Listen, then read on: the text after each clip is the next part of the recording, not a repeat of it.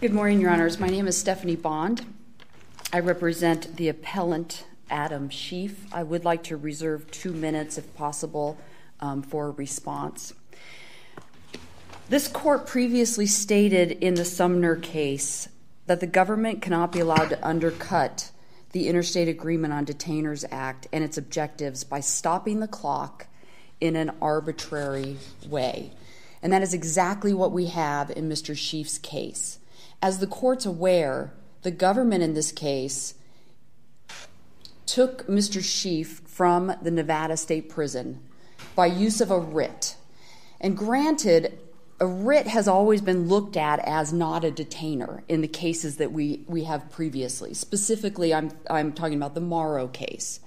But in this case, the way in which they used the writ and the way in which they took Mr. Sheafe, knowing that there was a detainer on him from the Pima County Attorney's Office in the same town of Tucson, Arizona as this court, just a block away, the day after the Pima County Attorney's Office had accepted Mr. Sheafe by writing, saying that they were on their way to pick him up, the government instead picked him up.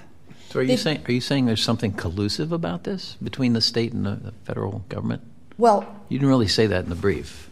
I, I don't have any information specifically that there was anything collusive, but I do think that this case is similar to, to um, Sumner in the sense that in that case, the Ninth Circuit didn't have any evidence that there was collusion between the, um, the prison that paroled Mr. Sumner and the government that took him by writ.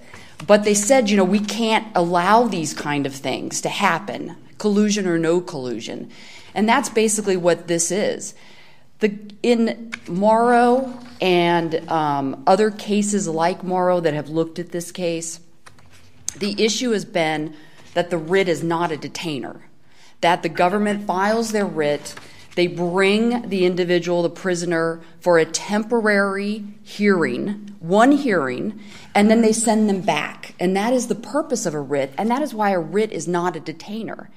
But if you look at the totality of the circumstances in this particular case, they kept Mr. Sheafe knowing that there was a valid detainer under the Interstate Agreement on Detainers Act just a block away from their courthouse, and they kept him for over two years. So you, you said, I think you said a second ago that normally the way a writ gets used is the person gets brought over and then gets sent right back. I, I got to tell you, that's just not my experience.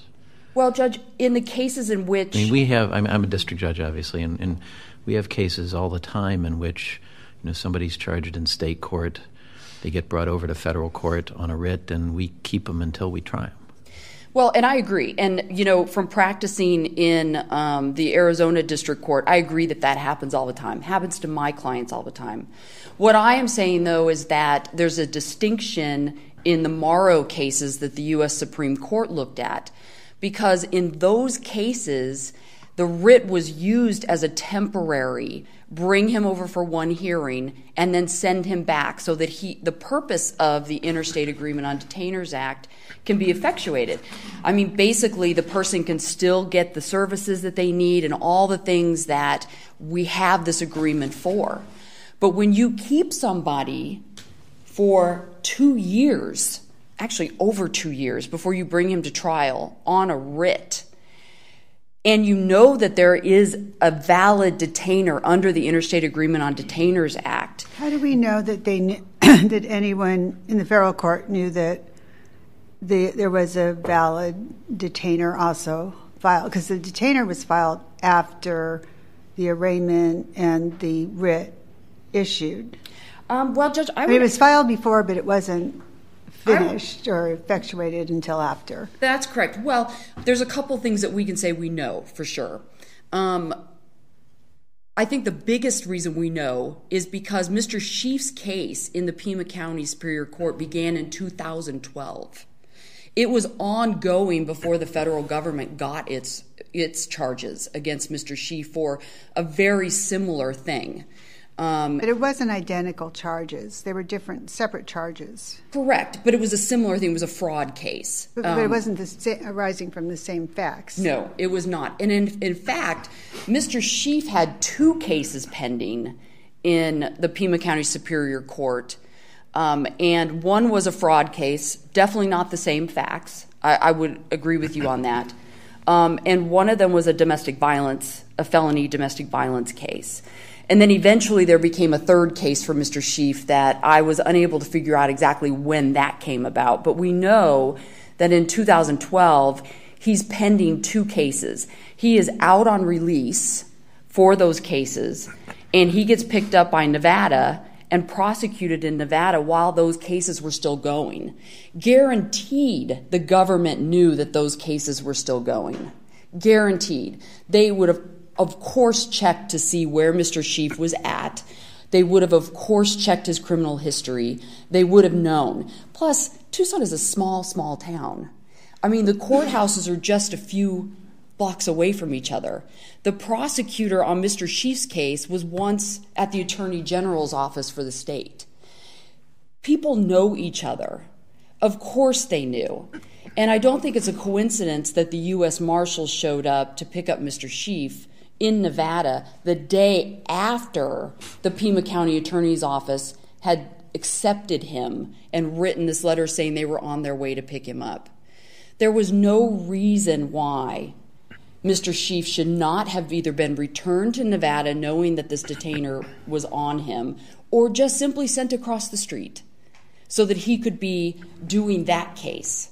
Keeping somebody on a writ for two years obviously is not using a writ as a temporary matter. It's doing exactly what the purpose of the Interstate Agreement Act is supposed to prevent. So, is there any case after Mauro that says that a writ essentially serves as the equivalent of a detainer? Judge, I believe all of the cases that I have looked at do say that the writ is not a detainer. But again, the facts are very specific in those cases as to how the writs were used. And in fact, this, um, the Supreme Court did look at the fact that this was a temporary use and not something to keep a person from having prisoner programs and so forth and getting on with their case. So if the problem was that Mr. Sheafe wasn't over in the you know the local county jail or whatever, did did his did the lawyer um, in the federal case ever say, Judge, please send him back over. You know, we'll come back when he's ready for trial. Send him back over to state custody now so that he can have I did not see whatever? I did not see anything about that in any of the hearing transcripts that that was even discussed. Um, as to the fact, and especially once you know this issue was brought that, to light. Isn't that a problem, though? I mean, if the if the problem that you're that you're identifying is that, um, you know, he's being held in the federal court and therefore he doesn't have access to whatever he have whatever he'd have access to in state custody. The fact that his lawyer who may have been making speedy trial objections here and there never said, hey, please send him back over to state court. I mean, I actually have lawyers do that sometimes mm-hmm. in, in, cases that yes. they say, you know, please send him back so he can get the state court case disposed of and bring him back after that. that if that never happened, why isn't that kind of a forfeiture waiver, whatever you want to call it. Judge, the fact that his attorney brought up the issue of the Interstate Agreement on Detainers Act brought up the speedy trial, asserted speedy trial for Mr. Sheafe, um, I think shows obviously that they were asking at that point that something be done, that either the federal government honor the Speedy Trial Act and the Interstate Agreement on Detainers and allow him to have a trial, or obviously the judge could have sent him across the street and put him in custody so that the state case could go on. I mean, the state case was delayed. It it literally ended and got resolved last month. Started in 2012. He was subject to this detainer the entire time ever since he went into the Nevada state custody. And that finally got resolved in November. Um, well, I shouldn't even say it's resolved. It's actually not resolved um, completely, but it's at the Court of Appeals level. Um, so the state case itself has been resolved in that, respect and is now pending in the Court of Appeals there. So for all of that time period, and the Interstate Agreement on Detainers Act specifically says that the government should not be allowed to use a writ to thwart the purpose of the act. And that's exactly what they did. I think that you have to look at the totality of the circumstances. If you look at, I mean, Mauro in the Court of, uh, excuse me, the Arizona, uh, excuse me, the United States Supreme Court, the Mauro cases were actually three cases. And in all of those cases, the writ was used the exact same way in the sense that the government requested the presence of the person, the government sent them immediately back. The government requested the person again, got them, sent them immediately back. And that was a big issue for the Mauro court. Now, obviously, in the third Mauro case, which was actually the Ford case, um, they found differently. And they found that in that case, there was an actual detainer. And there was a writ that was used in that case.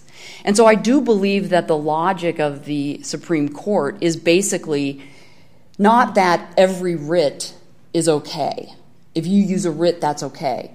It's the purpose under which you use the writ as to whether you're using it more as a detainer or you're truly using it as a writ, which is a temporary means of just bringing a person and then sending them back.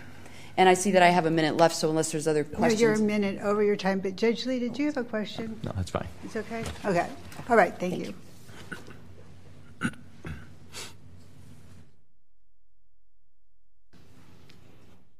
May it please the court, I'm Shelley Clemens with the U.S. Attorney's Office for the District of Arizona. In order for the Interstate Agreement on Detainers Act to apply, the federal government would have had to have secured the defendant's presence within the state of Arizona by the use of a detainer. That did not happen. The Interstate Agreement on Detainers Act simply does not apply in this case. As such, the district court did not err in denying the defendant's motion to dismiss based on claims that it was so violated.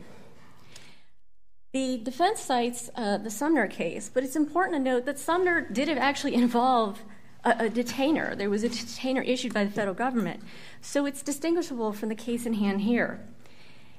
Defense counsel asserts, both in brief and here in argument today, that the government knew that there was a detainer when we issued our writ and that somehow kind of infers some sort of collusion. First, I don't think that that makes a difference in this particular analysis because the federal government is not bound by the actions of the state of Arizona merely by the fact that we're both within the state, the same state boundaries. If that were the case, if the if there could be transfers between the state government and the federal government without their needing to acknowledge the Interstate Agreement on Detainers Act, then that would seem to be something that's getting around it. And I think that's demonstrated by the Lualemaga case, wherein the District of Hawaii was reading a defendant, or had actually issued a detainer for a defendant from the state of Hawaii, uh, clearly within its same boundaries. But in that case, the Interstate Agreement Act uh, was found to be applicable, uh, although that wasn't the exact issue in the case, but it was found to be applicable, and the court uh, followed its provisions in determining whether or not uh, the time limitations had been violated. Do we, do we know why the government used a writ in this case rather than lodging a detainer? I do not, Your Honor. However, the, as held by Mauro and Collins, the government does nothing wrong by using a writ instead of a detainer. The Writs Act has been in place for many, many decades, including before the Detainers Act uh, right. uh, came into place. And Congress has not seen fit or seen the need since the Detainers Act has been in place to um, change the Writs Act. So the government is still allowed to do that.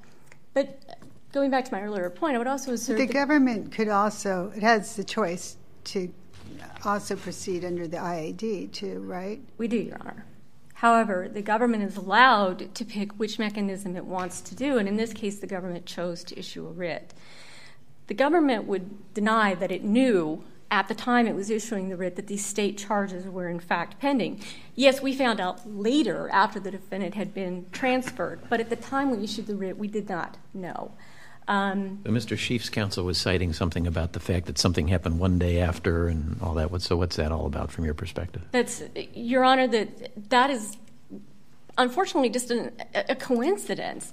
The Writs Act requires the government to issue their writ and then execute it quickly and efficiently. But the fact that the marshals did this at the same time, uh, the day after the, the detainer magically was finally, after three months, formalized is just a coincidence. But the government didn't do anything wrong because, again, the government can choose to proceed by means of a writ. That's how we secured as president. The writ's typically issued to somebody, right? So who was it issued to here? My understanding would be it would have been uh, to the state of Nevada. Okay. Which is where we brought right. him. That's where you brought him from, right? Not you didn't bring him from Arizona. You brought him from Nevada, right? And uh, I would disagree that Tucson's that small. I, I, wasn't buying that either, actually. our, our caseloads are certainly not that small uh, in any courthouse. And the fact that the prosecutor was with the AG's office, well, the AG's office is not the Pima County Attorney's office. There's no uh, inference of knowledge uh, going on here. But is so I'm just a little confused. So he's Yes. serving time in Nevada, and then when did he commit all these crimes? like if he's in jail in Nevada, and both the state of Arizona and um, the the federal government in Arizona are also charging him with different crimes. That is correct. Be- because there are different types of crimes. The bank fraud and conspiracy to commit bank fraud is one type of offense which the federal government has jurisdiction over. The burglary, theft of transportation, domestic violence, and kidnapping, absent special maritime jurisdiction provisions, for instance, in the Indian com- country and military bases, the government typically would not have jurisdiction over those types of cases. So we would not be involved in the investigation of of those matters. They're wholly unrelated. And the government had, there's no evidence in the record that the government at any time uh, influenced the state in getting the detainer or that the, de- the de- state asked that the government uh, issue the detainer. As this court held in Woods, absent a detainer, the Detainers Act simply doesn't apply. And the fact that a detainer was issued by the Pima County Attorney's Office doesn't bind the federal government. Under the Interstate Detainers Act, we are separate jurisdictions. That was kind of the whole point to require a detainer when you're going state, state, or state federal, uh, so that those bad things don't happen, where someone's just sitting in, in state prison custody somewhere, not being able to complete their program while the detainer can sit there forever. But in this case, we used a writ, which was appropriate, and we brought him over immediately, thus alleviating any of the problems that could have occurred. But the state of Arizona and the federal government in this particular case, well, actually in all cases, are seven separate sovereigns, and we're not bound by each other's actions in this particular matter. Um, Finally, even if this court were to find that somehow the Interstate Agreement on Detainers Act applied, there, were, there was good cause for the continuance to occur. Not all of them.